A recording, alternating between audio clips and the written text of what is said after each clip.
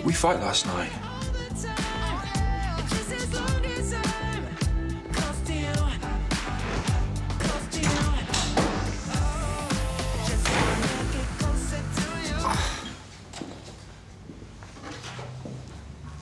Hey.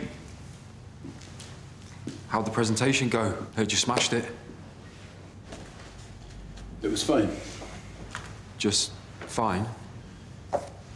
Yep. I'm sorry, can, can you speak to me, please?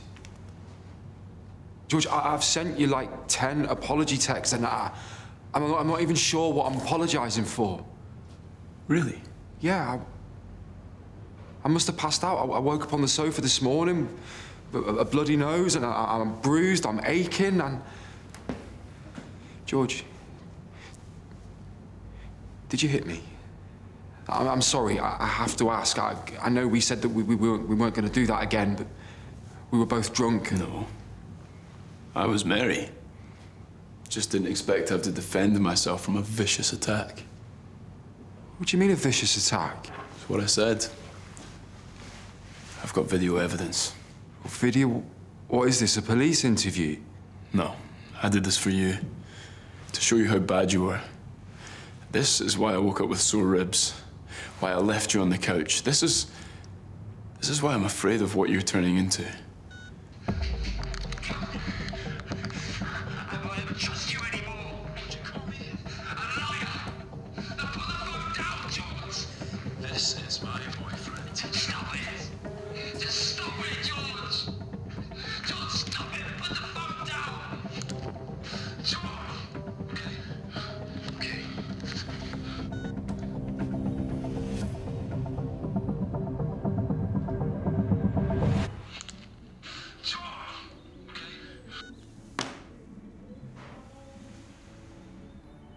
Camera doesn't lie.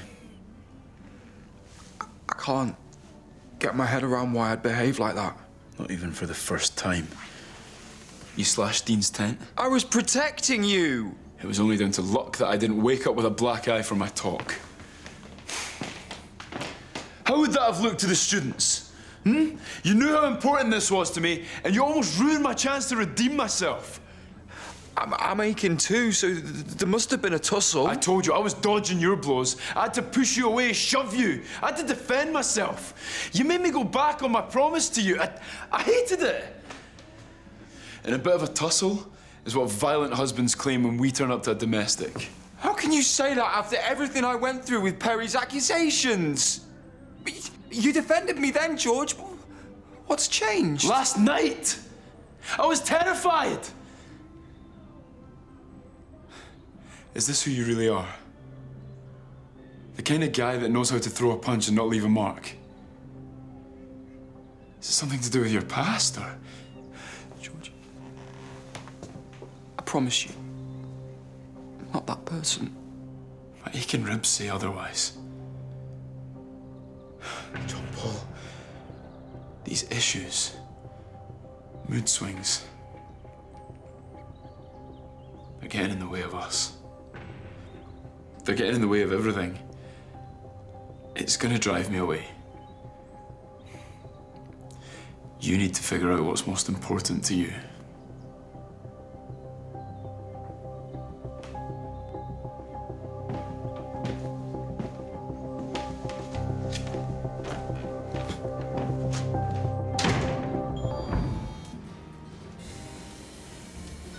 There's no need to wait for an anniversary to post a soppy message especially when the recipient is as special as you are. George, you are my one. You are my best mate. You're my happy ever after. And I would never do anything to spoil that. Um, you lift me up when I'm down, and you make my heart go dum dum dum your uniform. I really like you in your uniform.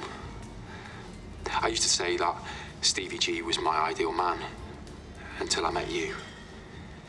George Kiss, my superhero.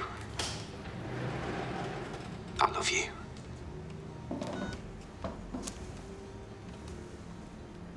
It's all true. Stevie G. Never told you that before, have I? Guess I have a lot to learn. so, you gonna stick with me?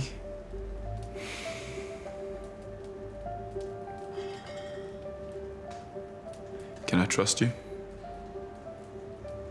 I, I realise that the issues that we've been having are down to me, and, and I'm really grateful for the opportunity to fix them, to change, and I will.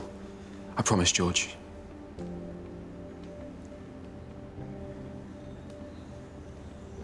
Please forgive me.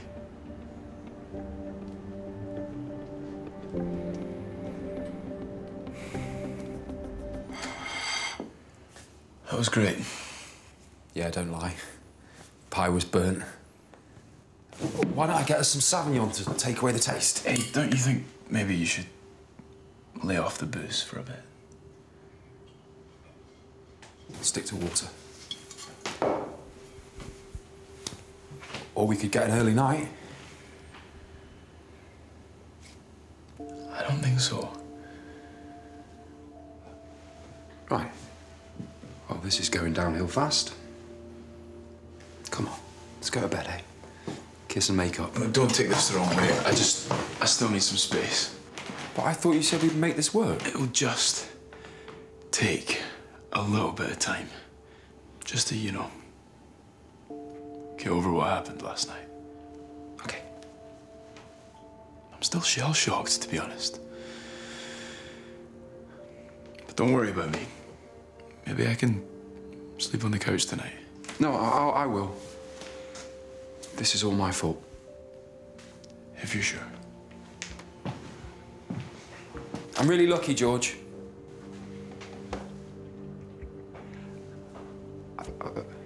Feel lucky that you're sticking by me, despite everything. And, and I feel really grateful. And I promise I, I'll fix all of this. I will, I promise. Okay. Sleep well.